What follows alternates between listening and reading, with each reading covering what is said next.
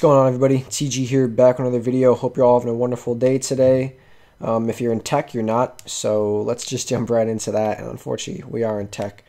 Uh, Nasdaq again getting clobbered while the Dow advances, and bigger companies like Amazon and Microsoft just getting absolutely destroyed. Another day we lose another three thousand dollars. So it's been rough this week. We're down almost nine thousand for the week alone. Um, but we bought another share, two more shares of Amazon today, and we're we're all in. We are 100% more than all in on Amazon. We have 29 shares. Uh, it costs us 91k to buy them all, and obviously our account size is only 64k, so we're using a lot of margin to do this. Now, hopefully, Amazon will have a big recovery pretty soon.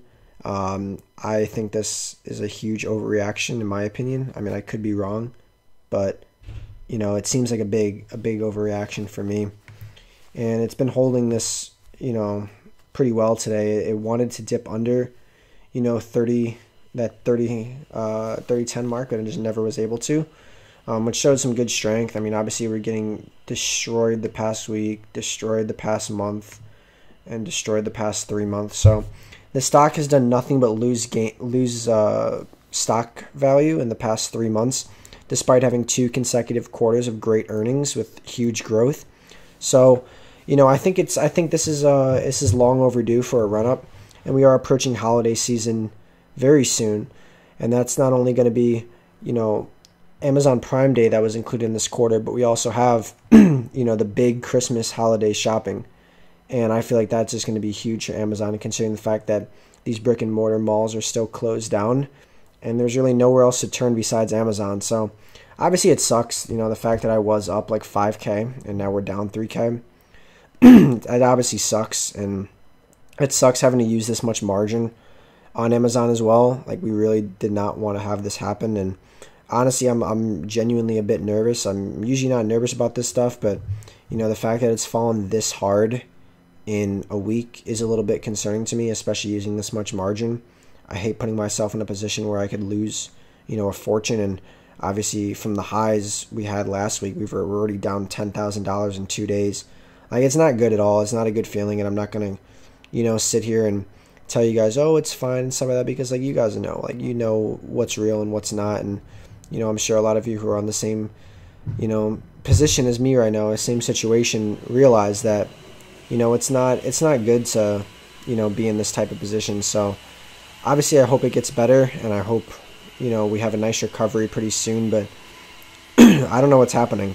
You know, people are selling Amazon and are buying, you know, ridiculous stocks like movie theater stocks and, you know, just really weird stocks and it's it's a weird change in the market where they're going to more of these stocks that haven't had any growth in years like stocks like AT&T is another one. Like AT&T consistently is on a down downtrend.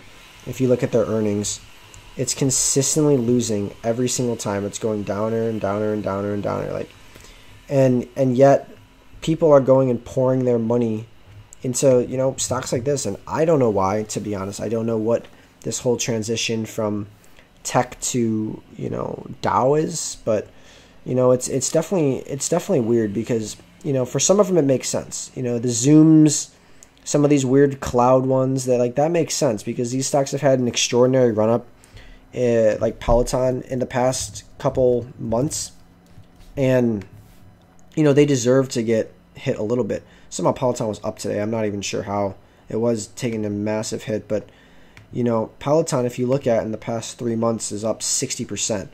Like it's had an insane run up whereas Amazon hasn't done a single thing but go down in the past th- four months, despite posting two incredible earnings. So I feel like if you're going to put your money into some of these, one of these tech stocks, I think Amazon's the play. Amazon's continuing to grow, and yes, Amazon did have some issues today with uh, antitrust from Europe, um, but they can they you know continuously do this to you know big tech all the time. They're always putting antitrust out and you know they never they never really win you know because they're gonna amazon's gonna grow regardless you know they don't have to listen to that uh, so to speak and it's not it's not gonna put a dent in their in their pockets at all so for for the stock to drop you know, significant from its highs, almost like more than 10% from its where it was. I think we're down about 16 and a half, almost 17% from its highs. That's a lot. I mean, that's a lot of room to grow as well. Like, and it's one thing if, if I saw Amazon post a bad earnings and okay, I'm, I'm going to get out of it for a while just because, you know, it's clearly there's a justifiable reason why the stock has gone down. But in this sense, you know, to see 3,039, like, are you kidding me? Like, despite it posting amazing earnings, you're going to, it's going to drop that much. Like, I don't know, it just seems, seems kind of foolhardish. And, you know, there's a, there's a lot of people out there with weak hands, you know, who the second the stock goes down, some they just sell. And, you know, they, they rarely ever make profit. You know, they try to, they try to get like a little bit here. And then the second things go bad, they just panic sell. You know, long term, that's going to be dumb and they're going to miss out on a lot of profits. And I think holding Amazon right now is going to be a very good play um, for a multitude of reasons. One, I think this next earnings is going to be spectacular. Um, because, like I said, we have Prime Day and holidays all in this period, which is huge. And I'm pretty sure on estimates, it's not been given yet that Amazon brought in over $10 million alone or $10 billion alone on those two days of Prime Day. Like, that's huge. Um, and then obviously, holiday shopping is when more more buying on Amazon happens any time of the year. So the fact that they did like 96 billion last quarter and they're expected to do like 115 between 110 and 120 billion this year or for this quarter, I feel like it's it's a no-brainer that they're going to hit this and they're going to hit it big. I think they're going to blow earnings out of the park and I feel like this is when Amazon finally breaks that 3600 mark and really starts to soar towards 4K. I could be wrong, obviously, and like I said, I'm not going to lie to you guys. I'm I am nervous, you know, having this much money into a stock that is performing really, really badly right now for no real reason whatsoever. It's obviously nerve wracking. It's obviously very stressful, and I I want to, like I said, I always want to be as transparent as I can with you guys. Um, so it's it's true. Like it it sucks. It really does suck to wake up, you know, day after day and see 5% down, 6% down, 3%, like back to back to back. Like it's it's painful to look at, especially when you have, you know, not just all your money but borrowed money as well. And that was foolish of me. I probably shouldn't use that much margin, but I continued to buy as it went down. And I should have sold a lot more when it hit 3,300. I sold two and a half shares, um, but I obviously should have sold a lot more. I should have got rid of all my margin, but I was thinking we were going to have a huge run up because I feel like this was going to be the start of the run. And obviously I was wrong you know, so I'm going to definitely watch this and I'm definitely going to see what happens with Amazon. But, you know, I'm not going to lie to you guys. It's obviously extremely stressful. And I mean, you guys are investors. You know about this. You know the stress that comes, you know, with holding a company like this. And, you know, you see a, you see a stock that's, like I said, down over 10% for the month. And it's worrisome, but I got a good feeling about it. And I, I think deep down that Amazon will recover pretty well and I feel like this it's been battered down with bad news, bad news, bad news, and it's you know it's going to hold pretty strong. I hope, and I hope we're going to see a nice recovery. So I'm all in. I'm more than all in. I'm I'm all in and more on Amazon.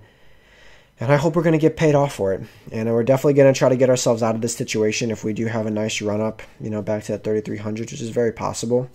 Then we're going to try to slim some, uh, trim some profits and reduce all of our margin because we don't want to have that risk either. So that's what we're doing for now. Guys, hope you guys are doing okay. I know a lot of you guys in the Discord are, you know, big tech holders as well, like me. And I've just been getting absolutely slaughtered, you know, this past couple days. So hope you're all doing okay. Keep your heads up. You know, you'll be fine in the long run, hopefully.